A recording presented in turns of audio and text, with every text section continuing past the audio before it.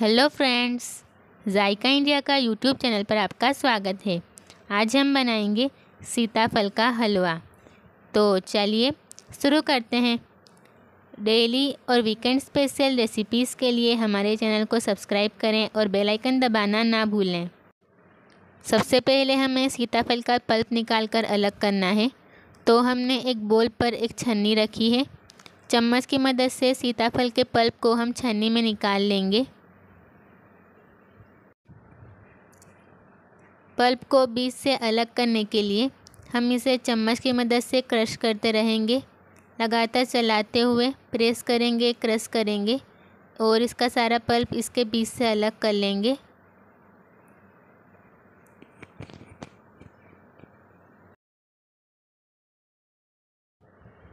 आप देख सकते हैं कि इसमें से बीज अलग होने लगे हैं तो इन बीज को हम निकाल लेंगे और अभी भी हमें इसे क्रश करना है। ताकि सारे बीज इसमें से अच्छे से अलग हो जाए।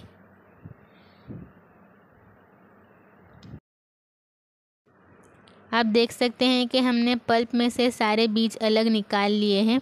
अब छन्नी में जो पल्प बचा है, इसे भी हम बोल में ऐड कर लेंगे। सेम प्रोसेस को फॉलो करते हुए बाकी के सीताफल का पल्प अलग कर लेंगे। तो इस तरह से हमने चार सीताफल में से पल्प अलग कर लिया। इस पल्प की क्वांटिटी एक कप जितनी है। हलवा बनाने के लिए पैन में हमने पाँच टेबलस्पून घी ऐड कर दिया और घी को अच्छे से गर्म कर लेंगे। घी जब अच्छे से गर्म हो जाएगा, तब हम इसमें ऐड करेंगे एक कप सूजी, यानी कि दवा। और लगातार चलाते हुए लो फ्लेम पर सूजी की हम घी में अच्छे से भुनाई करेंगे।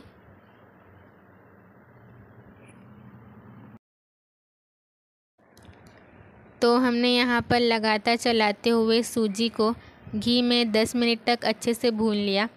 आप देख सकते हैं कि सूजी की भुनाई अच्छे से हो चुकी है और इसका कलर भी थोड़ा चेंज होने लगा है। इस स्टेज पर हम इसमें एक कप दूध ऐड करेंगे। देखिए, आप यहाँ पर बॉईल किया हुआ दूध भी ऐड कर सकते हैं। हमने कच्चा दूध ऐड किया है। अच्छे से इसे दूध के साथ मिक्स कर लेंगे। आप देख सकते हैं कि दूध ऐड करने के साथ ही सूजी ने सारा दूध एब्जॉर्ब कर लिया। इस स्टेज पर हम इसमें एक कप चीनी ऐड कर देंगे। देखिए, चीनी की क्वांटिटी आप अपने टेस्ट के हिसाब से भी मेज़र कर सकते हैं।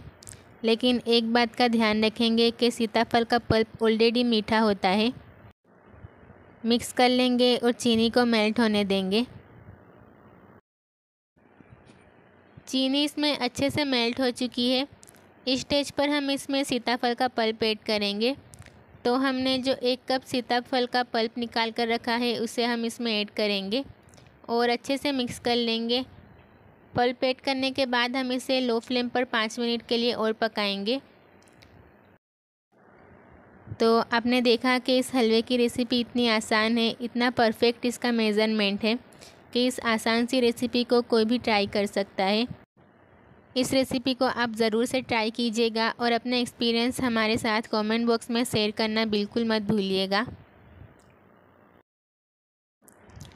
पल्प ऐड करने के बाद हमने इसको पाँच मिनट तक लो फ्लेम पर और भून लिया।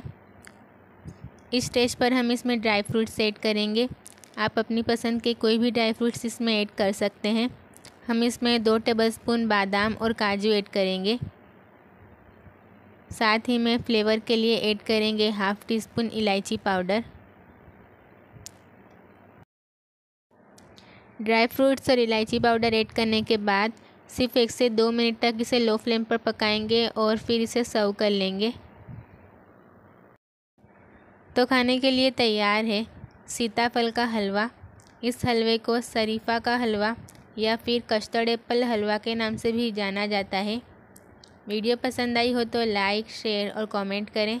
चैनल पर नए हैं तो मेरी आपसे हम्बल रिक्वेस्ट है कि हमारे चैनल को सब्सक्राइब करके बेल आइकन ज़रूर दबाएँ। अगर आपने अभी तक हमारी सीताफल की खीर की रेसिपी नहीं देखी तो उस वीडियो की लिंक आपको इस वीडियो के डिस्क्रिप्सन में मिल जाएगी। आपको ये रेसिपी पसंद आई है तो इसे फ्रेंड्स और फैमिली में ज़रूर से शेयर कीजिएगा। फिर मिलेंगे जायका इंडिया का यूट्यूब चैनल पर एक नई रेसिपी के साथ। तब तक के लिए गुड बाय।